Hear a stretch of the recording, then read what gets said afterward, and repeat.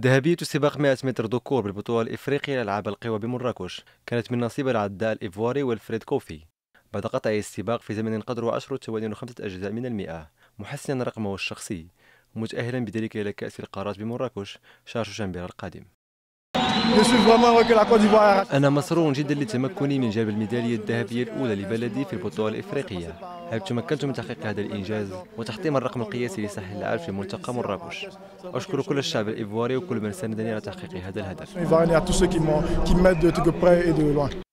الرتبتان الثانية والثالثة عادتا للعدائين النيجيريين جيلكس ماركس ومونزافو إدوارد في محل العداء المغربي الوحيد المشارك في المسابقة عزيز أحدي في الرتبة السادسة. ويذكر أن الرقم القياسي للبطولة لا زال في حوزة العداء النيجيري أوغانكو ياسين منذ سنة 1998